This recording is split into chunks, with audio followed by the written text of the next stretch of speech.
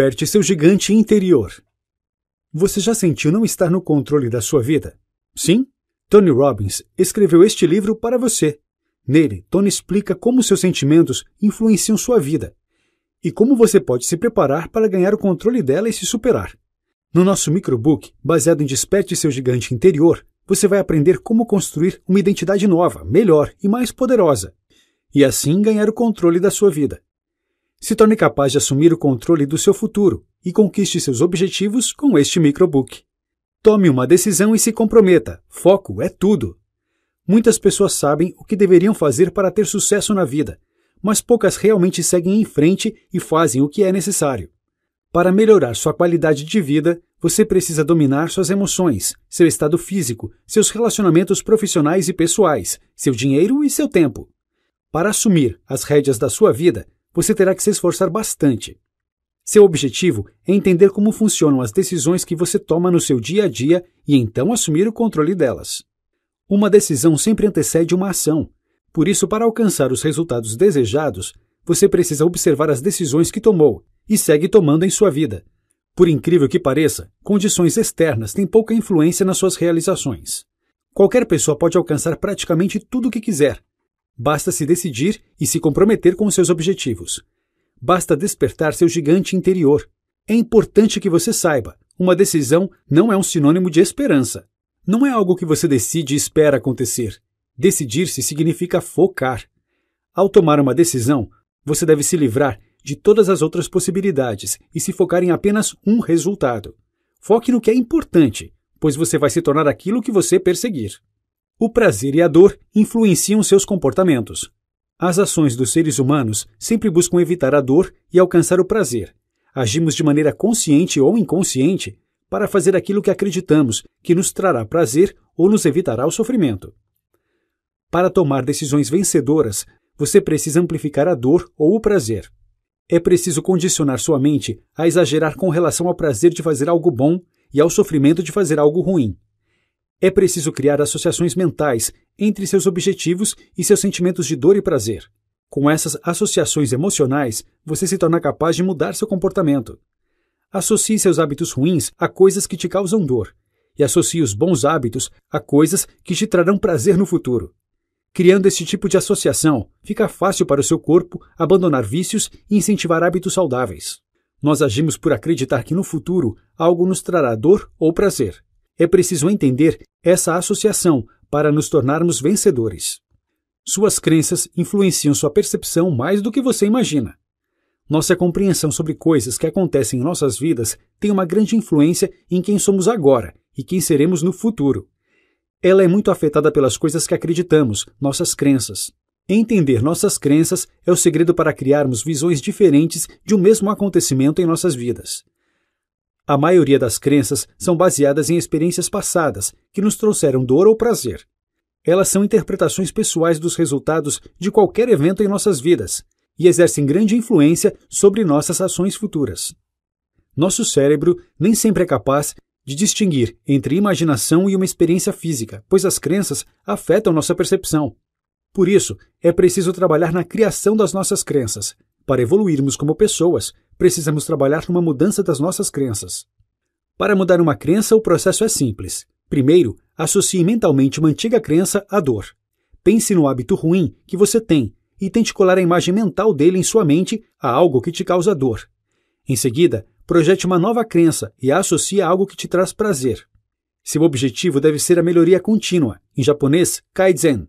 Sempre devemos buscar evoluir e melhorar nossas crenças. Melhoria constante e interminável deve ser um compromisso reforçado pela atitude de continuar melhorando gradualmente. Isso vai desenvolver sua segurança a partir de um esforço constante e consistente em saber que a cada dia você se torna uma pessoa melhor. Associando prazeres com bons hábitos. O condicionamento neuroassociativo, NAC, é um processo que associa prazeres intensos a qualquer coisa que você deseja adotar e associa dor insuportável a qualquer coisa que você deseja evitar. Apesar de a maioria das pessoas acreditar que trocar os hábitos antigos por novos pode levar muito tempo, hábitos podem ser mudados de forma rápida e permanente. Condicionar-se da maneira correta te tornará capaz de gerar mudanças imediatas. O segredo para assumir o controle da sua vida é criar associações automáticas de prazer e dor aos seus hábitos. Atribuir quantidades de prazer suficientes para o comportamento que você quer ter irá ajudá-lo a criar um impulso para agir. Para se recondicionar, você precisa seguir seis passos simples. 1. Um, analise o que você quer da sua vida e o que tem te impedido de alcançar isso. Se você continuar se focando naquilo que não quer, você estará se programando para alcançar essas coisas. 2. Crie motivação para mudar imediatamente. Encontre uma maneira de conectar o prazer com a mudança e a dor com qualquer sentimento de procrastinação. 3. Interrompa seu padrão normal de pensamento. Imagine as coisas de maneira diferente, com humor e exageros. Isso vai te ajudar a se lembrar de situações passadas de maneira completamente diferente. 4. Pense em um novo método para produzir os mesmos benefícios gerados pelos seus antigos hábitos. 5. Crie um novo condicionamento. Visualize as atitudes alternativas que você pode ter com intensidade emocional. Use a repetição e a emoção para reforçar os benefícios da alternativa. Desenvolva maneiras de recompensar novos padrões de comportamento. Um padrão reforçado se torna um hábito. 6. Visualize uma situação que te causou frustração no passado. Se você seguiu esses passos corretamente, você vai se sentir diferente sobre a situação. Se não, volte para os passos de 1 a 5 mudando seu estado emocional. Existe uma conexão direta entre o que uma pessoa quer alcançar na vida e o que ela quer sentir. Posses materiais e relacionamentos pessoais são simplesmente meios para um fim. São uma maneira de alcançar estados emocionais desejados. Seu comportamento é o resultado direto do seu estado emocional atual. Portanto, mudando seu estado emocional atual, você pode mudar seus padrões de comportamento e, assim, atingir os objetivos buscados. Existem duas maneiras de mudar seu estado emocional. A primeira diz que a emoção é criada pelo impulso. Se você quer sentir uma emoção específica, comece a agir como se já se sentisse daquela maneira. A segunda diz que seu foco se torna sua percepção da realidade. Portanto, se o seu foco está nas coisas que ainda não aconteceram e você já se sente bem com elas, você cria um ambiente propício para que essas coisas aconteçam. Faça uma lista das atividades que você quer reforçar e crie métodos para se focar nessas atividades na maior parte do tempo. O poder da palavra. Palavras possuem a habilidade de criar as emoções que moldam nosso destino. Isso acontece porque as crenças podem ser formadas e mudadas pelas palavras que falamos. Por isso, as palavras que você usa no seu dia a dia afetam não só como você se comunica, mas também como você percebe o mundo e como você se comporta. Ao mudar seu vocabulário, você muda seus pensamentos e hábitos, Escolha de maneira consciente as palavras que você usa no seu dia a dia, e você poderá mudar sua vida e seu destino. Use palavras que empoderam e risque do dicionário as palavras que são contraprodutivas. Confira algumas dicas. Anote as palavras que você normalmente usa para descrever suas emoções negativas, por exemplo, nervoso, confuso ou deprimido. Crie uma lista de alternativas criativas para essas palavras, por exemplo, desencantado, intrigado, curioso, as palavras novas devem te ajudar a se sentir melhor. Decida que de hoje em diante você irá usar as novas palavras sempre que enfrentar uma situação negativa. Rapidamente, você vai começar a se sentir e a agir de maneira diferente. E seus pensamentos vão começar a seguir o novo padrão das novas palavras. O importante é sempre escolher novas palavras que são construtivas e não negativas. Outro ponto importante é que as metáforas que você usa podem estimular ou limitar sua vida. Quando uma metáfora é usada constantemente, você automaticamente passa a assimilar suas vantagens e suas limitações. Escolha as metáforas com cuidado. Uma metáfora é usada sempre que um princípio é explicado em comparação com outra coisa. As metáforas são uma maneira de aprender. Elas fornecem um caminho para visualizar conceitos não familiares em termos familiares. Utilizando-as de maneira consciente, você pode influenciar e moldar suas experiências de vida. Dominando suas emoções. Para transformar sua vida, é preciso entender que cada pessoa cria suas próprias emoções, que são recursos importantes que nos ajudam a agir. As emoções mais poderosas que você pode criar são amor, gratidão, curiosidade, entusiasmo, determinação, flexibilidade, confiança e alegria. Para dominar suas emoções e se transformar, é preciso ser capaz de criar estas emoções positivas. Algumas dicas para criar este tipo de emoção são: Assuma para você mesmo que suas emoções são sinais úteis. Portanto, sinta-se grato que seu sistema de sinais funciona normalmente. Isso também vai fortalecer seu equilíbrio. Tente descobrir por que você se sente dessa maneira. Os motivos para essas emoções são racionais ou totalmente irrealistas. Procure por razões para se sentir dessa forma. Sempre que você sentir emoções fortes, dê um passo para trás e se pergunte o que você está sentindo. O simples fato de esclarecer seus sentimentos vai diminuir a intensidade emocional dos sentimentos negativos. Desenvolva autoconfiança para que você possa lidar com suas emoções hoje e no futuro. Visualize ocasiões do passado em que você se sentiu da mesma forma e conseguiu usar essa emoção para alcançar alguma realização. Entusiasme-se e tenha atitude. Tome uma atitude que prova que você está avançando. Tenha objetivos e controle seus pensamentos. Toda pessoa tem o poder de criar seu próprio futuro promissor. Porém, é preciso ter clareza das metas e objetivos buscados. Para chegar até este futuro promissor, portanto, é preciso saber definir suas metas e objetivos. Para criar um bom objetivo, siga o seguinte plano. Primeiro, seu objetivo deve ser claro, direto e rico em detalhes. Segundo, todo objetivo deve ter um plano claro associado a ele. Este plano deve contar com atividades, datas e tudo o que precisa ser feito para se chegar lá.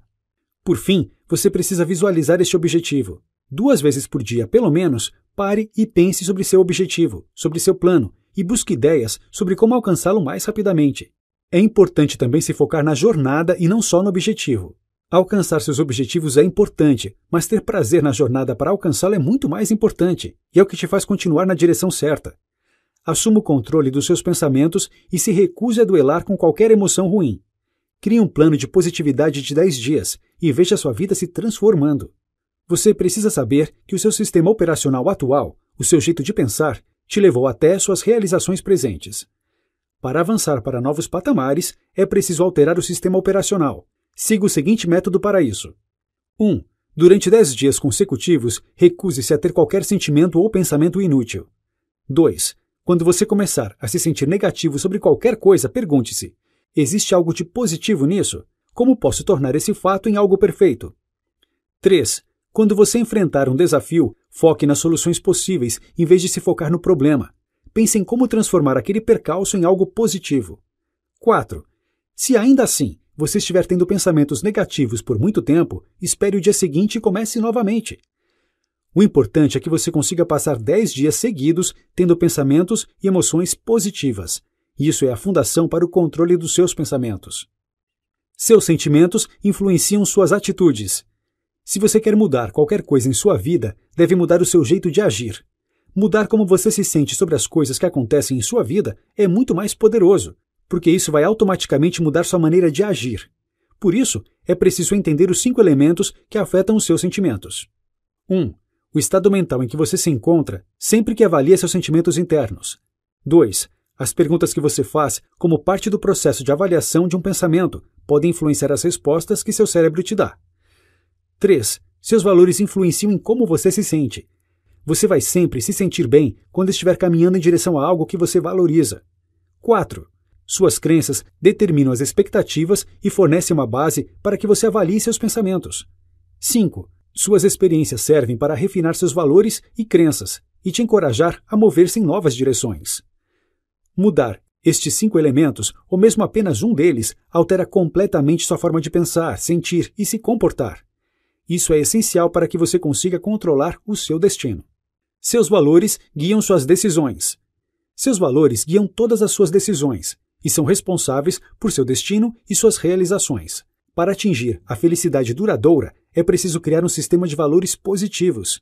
Um erro que muitas pessoas cometem é gastar muito tempo se preocupando com o que elas querem ter no futuro, quando na realidade elas deveriam focar em como estão gastando suas vidas agora os valores podem ser tanto negativos quanto positivos.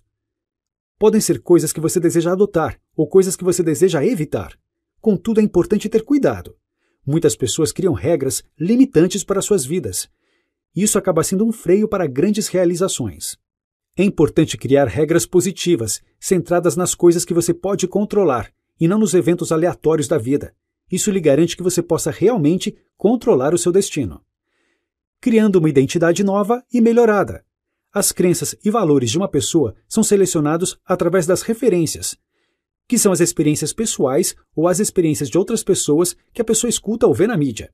Quanto maior o número e a qualidade de referências que uma pessoa tem, mais ela pode tomar decisões significativas em sua vida. Para expandir a qualidade da sua vida, faça esforços consistentes e conscientes para expandir as referências que impactam a sua vida. Ler, por exemplo, é uma ótima maneira de expandir suas referências. Seja em situações boas ou ruins, seu sentimento sobre elas é baseado nas referências utilizadas. Você precisa ser capaz de aprender com o passado, mas não pode viver nele. Ninguém dirige um carro olhando para o retrovisor, que deve ser usado apenas em algumas manobras. Cresça suas referências e você criará uma nova identidade. Novas ideias e referências não cairão no seu colo. É preciso fazer um esforço natural para expandir os limites da sua mente. Sua identidade é baseada nas crenças que você utiliza para definir sua própria individualidade. Você é aquilo que você acredita que te torna único. Muitas pessoas acreditam que suas identidades foram moldadas exclusivamente por suas experiências. Mesmo assim, duas pessoas podem passar pela mesma experiência e terem memórias e atitudes completamente diferentes. Mais do que as experiências de uma pessoa, sua interpretação, através de um sistema de crenças e valores, é muito mais influente para a formação de uma identidade de alguém do que a experiência em si. Por isso, antes de começar a moldar uma identidade, gaste um tempo para pensar sobre o lugar onde você se encontra agora. Os passos para criar uma identidade nova e poderosa são: Faça uma lista de todos os elementos de uma identidade que você gostaria de ter. Deixe que sua imaginação corra e desenvolva um rascunho da sua identidade ideal, apenas da sua perspectiva. Observe a sua lista e adicione entusiasmo a ela. Adicione as características das pessoas que você admira. Pense em algumas ideias dinâmicas para sua lista de qualidades e escreva. Desenvolva um plano de ação. Como uma pessoa com esse tipo de identidade vive? Com quem ela deve se associar? E como seus amigos reforçam sua identidade? como essa pessoa se vestiria, agiria e viveria. Seja detalhista, específico e escreva seus pensamentos sobre isso. Comprometa-se a viver sua nova e melhorada identidade, projetando sua nova personalidade em todas as pessoas. Leia sua descrição constantemente. Esqueça do passado e se preocupe com a qualidade da sua vida no presente. Trabalhe para ter uma vida ainda melhor no futuro, aceitando e não evitando a mudança.